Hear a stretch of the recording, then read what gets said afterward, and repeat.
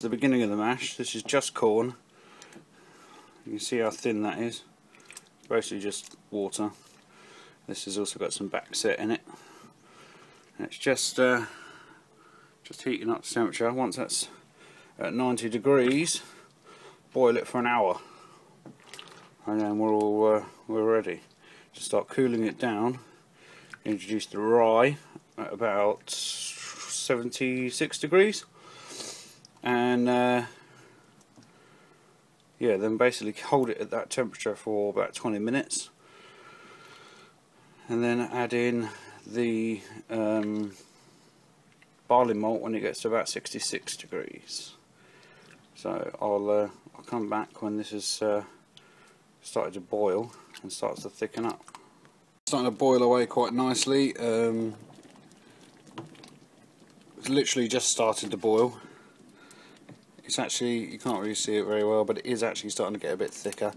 At this point, you want to have a kettle full of hot water standing by, because uh, as the water evaporates, which will evaporate quite quickly, um, you need to top this up basically. So what we're looking at is 90 degrees, which I'm getting close to now.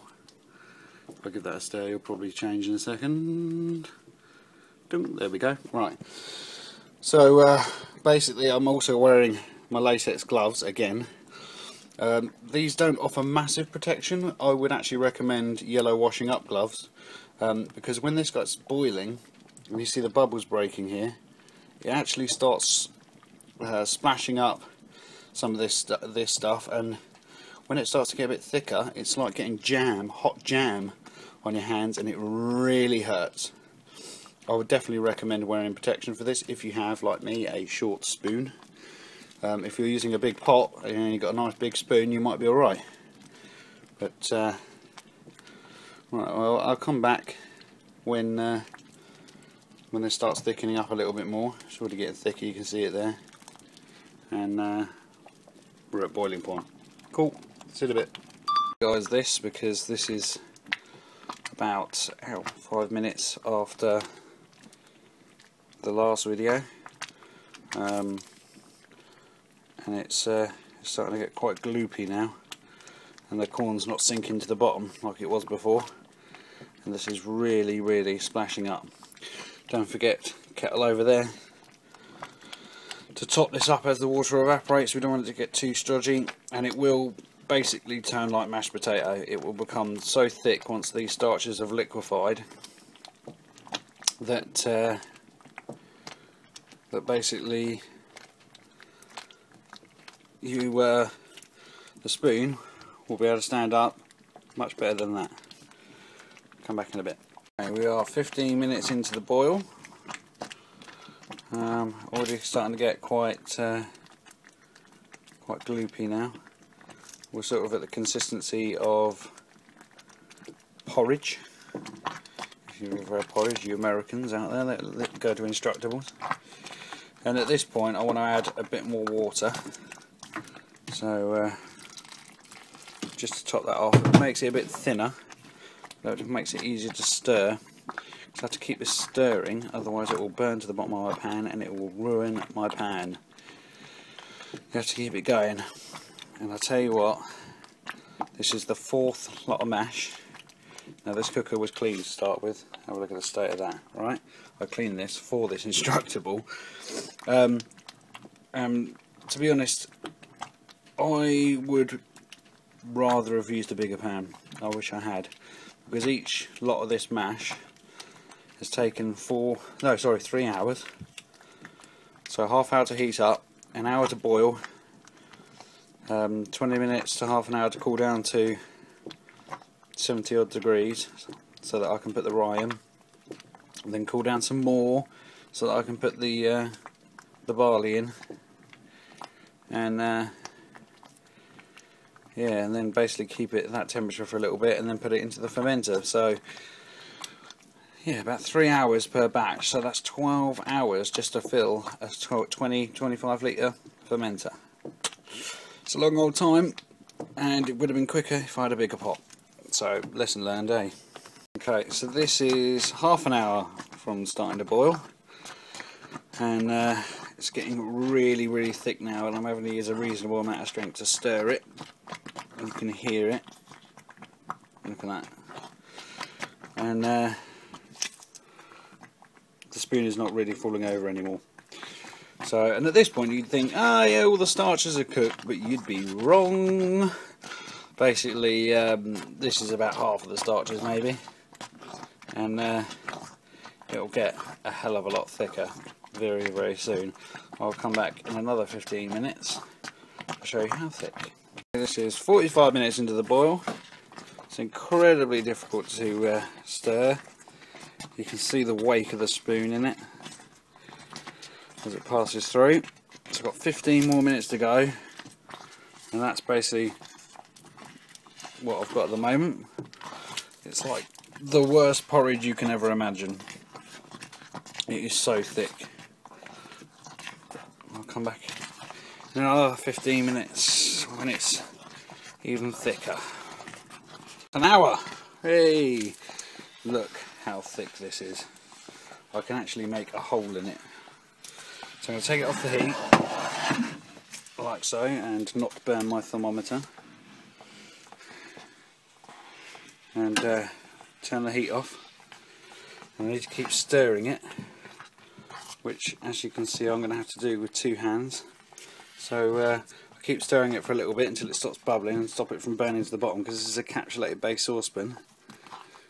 And uh, yeah then let it cool down for a bit. So this is a couple of minutes after I've removed it from the heat. Um, you can see how stodgy that actually is. It makes a little mound and uh, stand the spoon up in it. I've got the thermometer in there, the thermal probe, which is currently uh, 85.2. So I need to let that drop down to about 76. Uh, I still need to keep stirring it even though it's off the heat. Um, give it a couple of stirs now and then and then at 76 um, I can add in the rye. So uh, there we go. Fun times. Um, also look blister on my bloody thumb from uh, stirring so much. Basically I've done uh, probably about five or six hours of stirring all in all. So uh, I'll come back when it's cooled down which will probably take uh, know, about 15-20 minutes or so. And then I can add in the rye and I'll show you that. All cooling down. Just wanted to show you this. I can dig big lumps of it. As it get, as it cools, it uh, it gets thicker basically and you need to keep stirring this even though it's cooling down because it will still stick to the bottom um, and uh, ooh, now that's not true because if I give that another stir that will change. It's actually hotter than that. So you've got to make sure that your th thermometer see the, the thermometer is over to one side? I need to move it out into the middle. Give it a quick check. So yeah basically uh, once that's down to temperature that's it. We are now at the right temperature. I have my rye right there. These are rye flakes because it was easier. Put some in and then just sort of fold them in. Stodgy mess. As it cools it gets much more stodgy.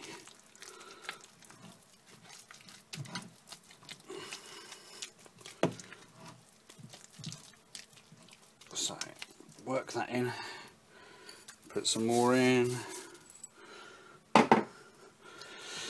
keep working it in and then once uh, once I've got two hands I'll stir it in properly. And then basically I need to leave it for a while to uh, to basically soak in soak in the uh, in the mash. And you can see this is really really sticky now. It's uh, it's like well mashed potato basically So we want to, uh, with the rye, we want to let it soak in a little bit because we want the liquids to get into it and the flavour from the rye to impart onto the grain a bit. Um, we want a little bit, we don't want a lot. If you're making a Kentucky bourbon with this recipe, then you've got more rye, so you probably want more, um, more kind of spicier flavour. So um, we'll come back. See, it's already dropping, dropping down in temperature there. Boom, as we watch. So um, yeah, you want to. Um, we'll come back when it's got to. I think it's 66, and uh, and add in the barley malt. And the reason we're adding in barley malt is it's basically got an enzyme in it, which uh, will turn the starches, which is making what this stuff into essentially a mashed potato type affair. See that wobbly bit? Uh, that is uh, basically a lump of starch, which which is basically what we want. But the enzymes will turn this starch, this stodgy, starchy mess, into uh, into sugars, which will basically make it go runny, which I'll show you in a bit because it happens really quickly. I was very surprised. Just wanted to quickly show you this. As it starts to cool, you basically end up with mash, basically. That's what it looks like. There's a big void in there where I've dug out a big hole. And it's um, basically a big lump. So we just got to wait for it to to cool down. Still very hot. Okay, we are uh, pretty much at temperature now. It can go in. So uh, this is a seriously heavy mash and a big hole. Right, here is my barley malt. I'm not going to put it all in one and go. I'll put a little bit in. I wanted to video this because if I can stir it while uh, while holding the camera I want you to see how quick these enzymes actually work and turn this from this mash into a workable uh, liquid basically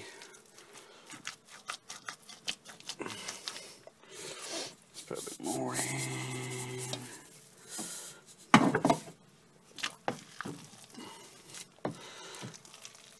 And as they start to work, you will see liquid start to actually appear rather than this mash, which is what we've currently got.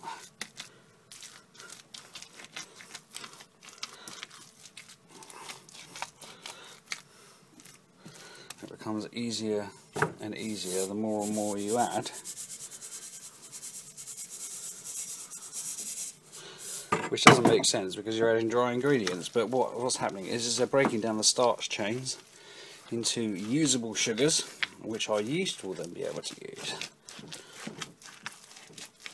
You can already hear becoming a bit more squidgy rather than mash-like.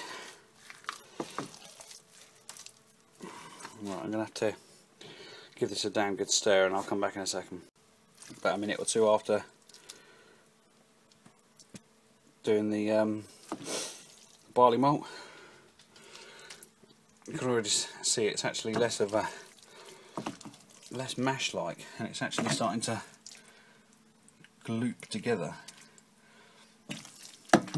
start to become more liquid which is basically the enzymes doing their job. So uh, if I dig a little hole here, you can see the liquid starting to form. And that's the uh, the starch is getting returned to sugars. And because there's no starch in there, it starts to lose its rigidity. So basically, um, give it a couple of minutes stir it now and then and uh, then basically when when this is pretty much quite runny we can put it in the fermenter. This has been working for about 20 minutes or so. You can see it's already it's now nice and wet. The enzymes are definitely doing their job. So uh, I haven't added any water to this. This is just the enzymes. So I can put this in the fermenter with the rest and it will carry on breaking down these starches and uh, making sugars and then we can uh, once I've done all that work we can strain it off and we've got the liquid to add the yeast to. Okay so that's uh, the mash added to the fermenter. There's not much extra water that's gone into here only a little bit in the bottom of the pan just to clean it out. This is all been converted into sugars. All the starches have been converted. So that's uh, it's a good consistency. I'm just waiting for the temperature of this to get down to um, near enough a yeast working temperature. Then I'll uh, strain this off into another fermenter so that I've only got liquid and, uh, and add the yeast.